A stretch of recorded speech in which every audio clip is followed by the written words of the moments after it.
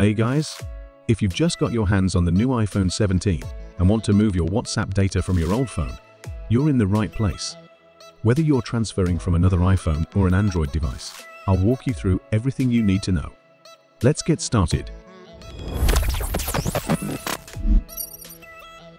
Part 1. Transfer WhatsApp from old iPhone to new iPhone. Here's how you can easily transfer your WhatsApp chats without using a backup. First, on your old iPhone, open WhatsApp and go to Settings. Tap Chats, then select Transfer Chats to iPhone. This is a new feature that allows you to transfer your chat history privately and securely without using iCloud. Next, move to your new iPhone. Download and install WhatsApp, then register it with the same phone number you used on your old device. Once registered, a QR code will appear on your new phone. Check if both your phone is connected to a stable Wi-Fi. Now go back to your old iPhone and use WhatsApp to scan the QR code displayed on your new phone. This connects the two devices, enabling the chat transfer. Once everything is connected, the chat history transfer will begin. Keep both phones near each other and unlock during the process. When the transfer is complete, tap Next on your new iPhone enter your WhatsApp name, and tap Done to finish the setup. Finally, you can enable chat backup on your new iPhone to secure your data going forward. All your chats, photos and videos from your old device will now appear on your new phone, and you're good to go. If the transfer gets stuck or fails, don't worry. You can use a professional transfer tool like iCareFone Transfer for a more stable and fast solution. This tool not only transfers your WhatsApp data seamlessly, but also allows you to back up your old data to a computer so you'll never lose any chats or files again. It's reliable and perfect for large amounts of data. Part 2. Transfer WhatsApp from Android to new iPhone. If you are using a brand new iPhone, migrating to iOS is a feasible option. First, download the Move to iOS E app on your Android device. Open it and follow the on-screen instructions until you reach the one-time code page. Returning to the iPhone 17, please ensure you connect your Android phone to the same Wi-Fi network. Complete the setup process until you reach the screen for transferring apps and data. Then select the option from Android. You will receive a one-time code. Please enter that code on your Android phone. Now, Find the WhatsApp option on your Android phone, select it, and then click to start the transfer. Once the data transfer is complete, continue setting up your iPhone. After completion, you will see the WhatsApp app on the screen.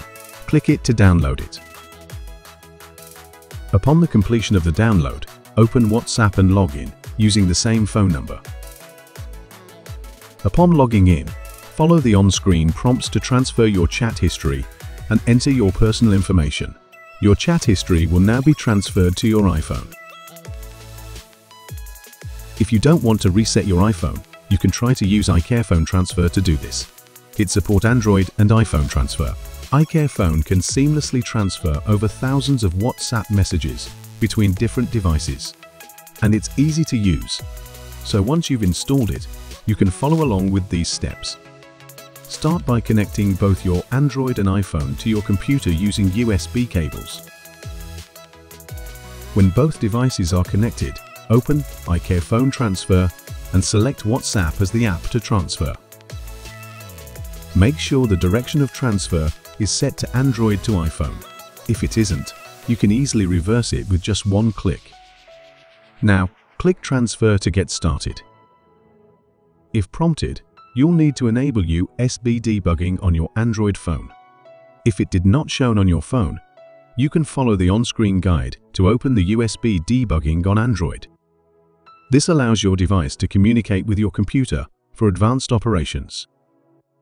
All you need to do is open Developer Mode to enable USB debugging. Next, you'll need to create a 64-digit encrypted backup on your Android device Open WhatsApp on your Android. Go to Settings, Chats, Chat Backup, and turn on End-to-End Encrypted Backup. Select the 64-digit encryption option.